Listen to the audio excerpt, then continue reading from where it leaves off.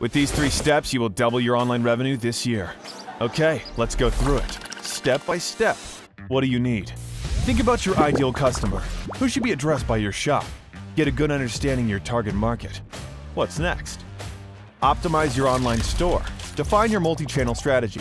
Which platforms are best for selling your products? And last but not least, extend your product lines on that basis. Good products that appeal to your customers are the foundations of a successful business. But wait, where do we find all this? IAW, the sourcing platform for all categories of imported and promotional goods.